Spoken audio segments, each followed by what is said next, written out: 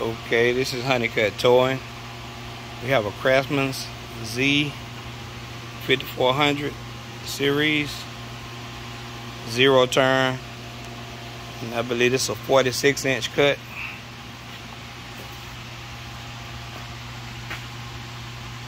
A Kohler motor, 22 horsepower. Uh, the belt is off. So this is a video showing how to install the blade belt. I already have started. This is the old belt. But I said I'll just put it back together to let you see how uh, we, we replace the belt. Alright. Well the floorboard right here comes up. This screw here is a half inch I already have it loose. So the whole floor plate comes up.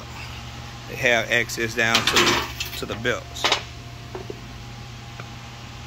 So what I normally do to keep from losing my screws, screw the screw back in the hole.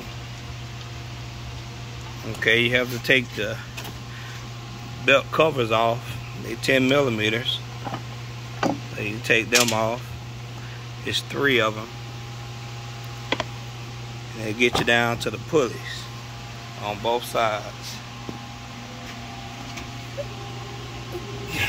I'll take the 10, 10 millimeter bolts. There's three bolts. One, two, and there's one on the back side.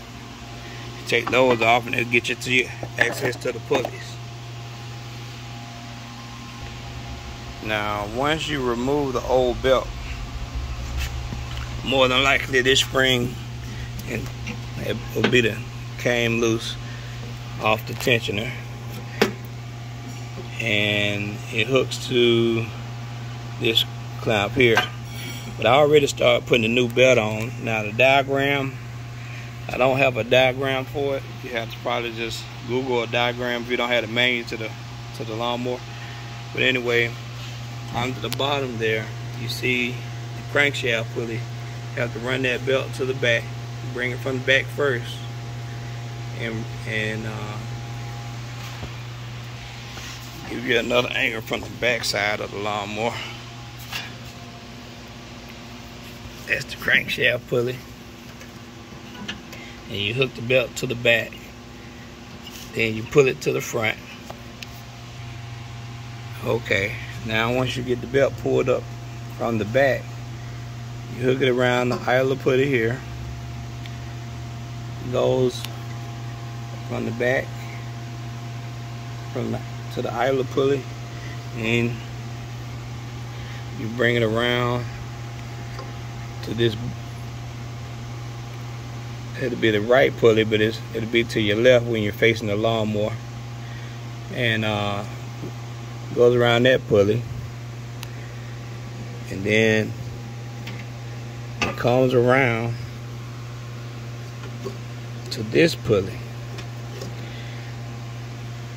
Now, to okay, let's get out of here.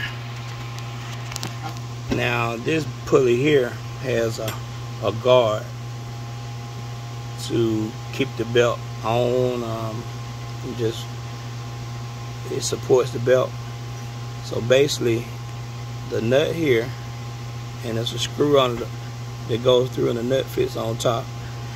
It's a 15 millimeter, so you can use two wrenches or a socket and a wrench underneath. And it just unscrews enough to raise this up, loosen it enough. Not you don't have to take it all the way off, but loosen it up enough to remove the belt off and under here, and then install the new belt you basically raise, keep it raised, put the belt on, then bring it down and tighten it back. And now we gotta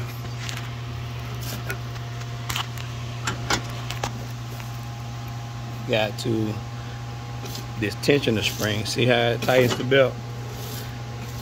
That in pivots. So that's the tensioner. So now we have to put the belt, the spring on the clamp. So we're going to show you how to do that.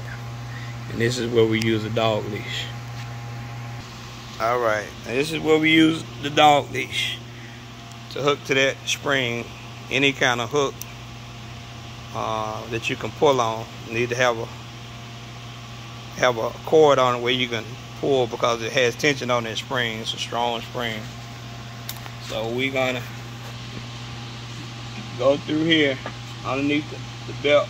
You hook the dog leash onto the spring and you grab the the hook in one hand and whatever you have to do, you I'm wrapping it around maybe two times on my hand and you just pull that spring and hook it and then take your dog leash out. Show you one more time. Hook the dog leash onto the spring and it, now the spring is connected. It's a it's a square hole and it's a, a long overhole. Goes to the long overhole. Now that square hole is where if you want to put a extension uh, like a 3 ratchet or extension and pull that way you can do it without the leash and just get a pull bar and pull it. But I found one of the easiest ways someone showed me before, just use a dog leash, hook on that spring, hold your, just your um, connector here and, just pull it and unhook. And that's how you install that spring, the tensioner spring. And you can use it on more lawnmowers. It don't have to just be this particular Craftsman. But majority of them will have a spring that keeps that belt tight. So once you do that, you move your screws or whatever. I'm not gonna do it. Might lose some, but you uh, gonna test the lawnmower out to make sure the belt is on correctly. You check to make sure it's on all the pulleys.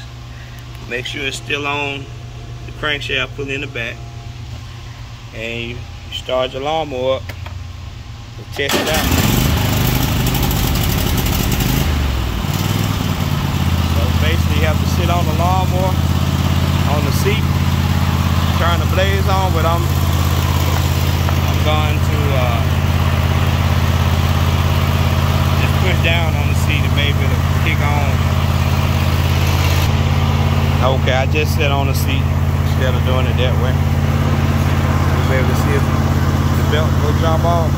Now you might want to put the cover on for safety purposes. If the belt is not on wrong, it might pop off if it hurts you. I'm, I'm gonna do it anyway, and uh, I'm not advising you to do it this way. Let's see if it works. All right. So there you go And basically you just reverse the procedure of putting all your covers back on and uh, I didn't say at the beginning but to get to the to the belts easier put your put your deck down to one of the lowest um, settings and give you more room to work with Sorry, I didn't say that from the beginning. So basically, uh, you put all your covers back on, your three screws on each side. And you put your plate back on and put the screw and tighten it down. And that's how you change the belt on the Craftsman Z5400 zero turn lawnmower.